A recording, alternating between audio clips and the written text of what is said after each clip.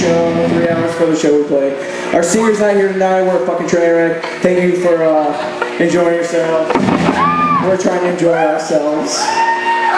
We're gonna do two more for you.